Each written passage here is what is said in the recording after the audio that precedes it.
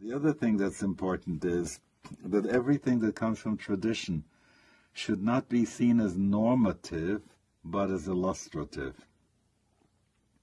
I got that distinction from Sam Keen. Well, it's a very important distinction. When you say it's normative, then you have to do it just so. If you say it's illustrative, haha, that's how Abraham did it, fine, so let me see how I should do what he did. You know, it's not that I copy him. I learn from him how to do something that I can do in my own personality. So that's why illustrative is so important.